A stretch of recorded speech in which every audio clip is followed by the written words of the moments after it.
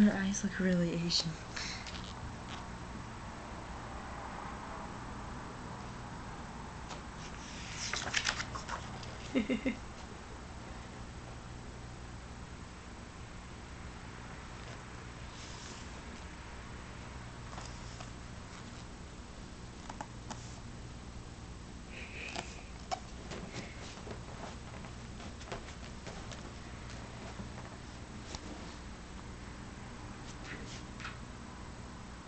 No, Ron Jarvis.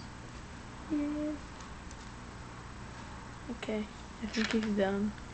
Eric Kim came back to our school. Was he always in our school? Yeah.